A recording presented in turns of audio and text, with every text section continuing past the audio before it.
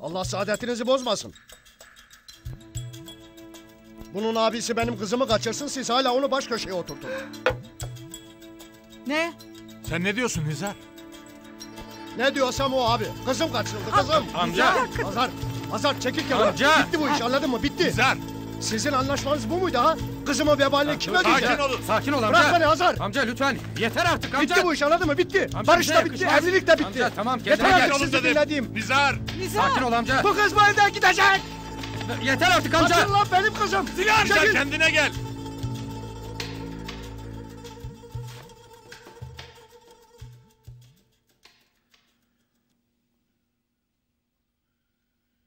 Burası senin de evin Zilan. Sen istemediğin sürece kimse seni bu evden gönderemez.